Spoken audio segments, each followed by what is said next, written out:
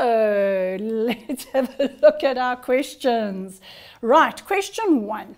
The following diagram, A, B, and C, show an important process that occurs in a cell nucleus. Now, people, if we have a look at this, we've got diagram A, and then diagram B and diagram C. Now, if you look at diagram A, here it is twisted,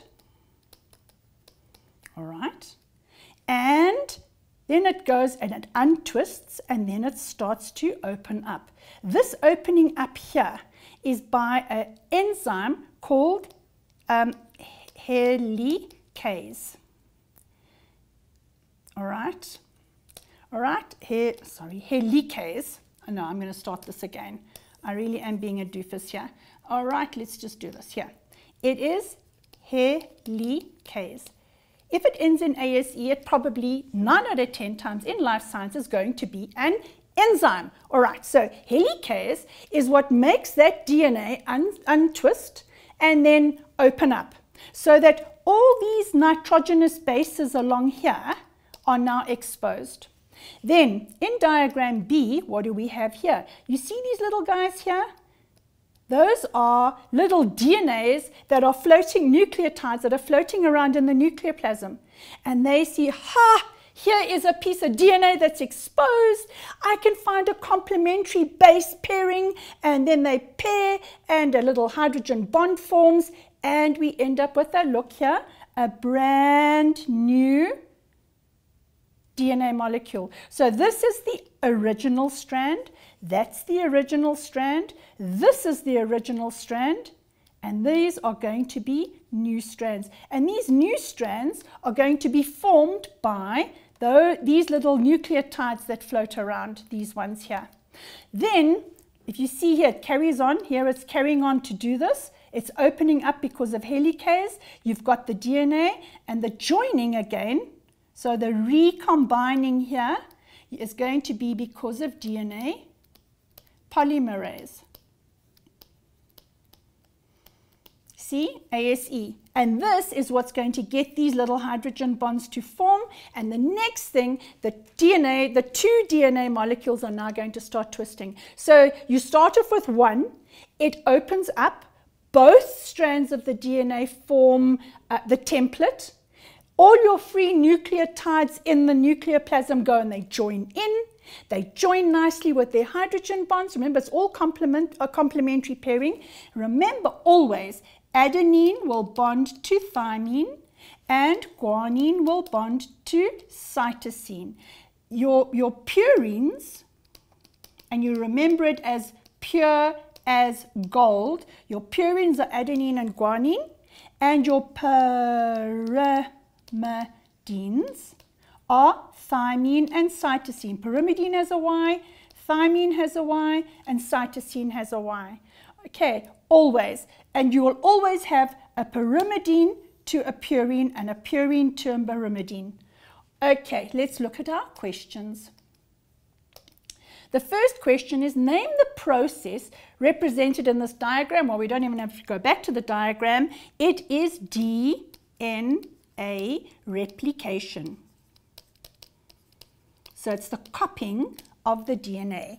Our next question, give the full name of the molecule represented in diagram A. The full molecule we know is going to be deoxyribose nucleic acid. Now, every, every learner on the planet knows DNA and RNA. But, and everybody, I mean, whether people are know much or not, DNA, they know what DNA is, but they don't know what it stands for. And we expect you to know that in matric. So deoxyribose, nucleic acid is DNA. And if it's ribose nucleic acid, then it is RNA. All right. Next, what do we have? During which phase, let me use a different color here, during which phase of cell division does this process occur? Well, we know that replication always occurs during interphase. Interphase is the longest part of the cell cycle. It takes ages because it's chemical and it is the duplicating of the DNA. so that all the other things can happen after that. All right. Now, provide a brief explanation. Provide a brief explanation of the process represented in diagrams A, B, and C. So let's go back to our yellow. We're going to do A, and let's have a look at what A did. So in diagram A, what have we got? We've got the untwisting because of helicase, and we have um, the unspir at least the unspiraling, and we have the unzipping. So that's easy enough. So we're going to say here, oi. So during A, we have the double helix, DNA molecule. What does it do? The first thing it's going to do is it unspirals.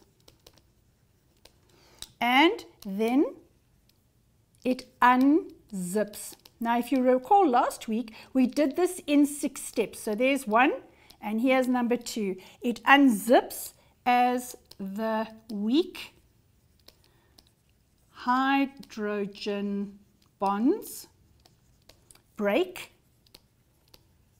between the bases. Complementary bases. Okay, so now they've opened, they're open now. Okay, and remember, let's just do this. The, the enzyme that caused this was helicase. And this is mainly for the IEB kids that must know helicase. Um, for, for the National Senior Certificate learners, you just need to know that it is enzyme controlled. Okay, but it doesn't, there's no harm in telling you that it is helicase. Okay, now if we look at B, what have we got here? We're going to have our each strand, there's our original strand, and it's going to be attracting new nucleotides so that we have two different strands. So we go back and we say, oh man, I thought this was going to work nicely. Okay, then in B, we're going to run out of space here. We have the th point three is each separate, uh, separate, separate um, DNA strand is a template. Okay, and this is important. So both strands are going to become templates and attract um, uh, nucleotides from the nucleoplasm um, for sorry complementary base pairing. Now remember, we're going to have adenine will always bond with thymine and guanine will always bond with cytosine. That is your base pairing. Now we don't have space here, so I'm going to zip down and let's just get more space here. Okay, and then for diagram C, they're now going to, what do we see? What did we see? The result is two new DNA molecules with, and this will be 0.6, with one new and one original strand. Okay, that is what's really important. Two new DNA molecules with one new and one original strand. Okay, both, sorry, this is 0.5, 0.6, both are, and I'm writing this in capitals, exact copies of the original DNA. Okay, so people, what's really important is that you have that strand unwinds, it unzips, new nucleotides come along that are present in the, nucle- in the nucleolus and form complementary bases. Okay, when that's happened, everybody's happy and we can now move on. The DNA now has two original strands, two new strands, but they're identical to the original one. Okay, so let's have a look at our next question. Explain the significance of this. Well, first of all, produce two new identical DNA molecules. Okay, and the second is to ensure um, identical um, genetic info in new cell to the original cell. Because remember, you're going to use this for growth and repair and replacement. So you want the new cell to be identical to the old cell. I'm going to be two minutes here quick.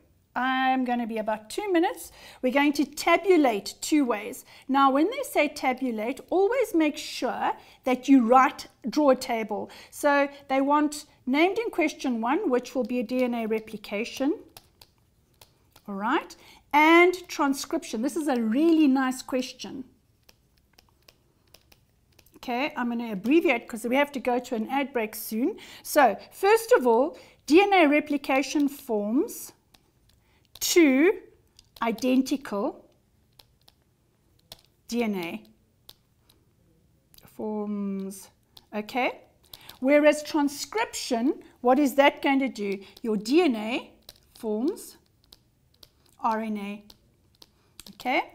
Then we know that with DNA, adenine will um, bond with thymine.